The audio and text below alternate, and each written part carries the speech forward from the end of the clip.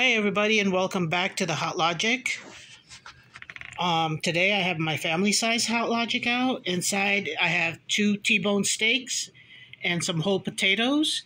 The spices I've used is always the same. Smokehouse maple, Italian seasoning, a little bit of Tajín, and a little bit of soy sauce.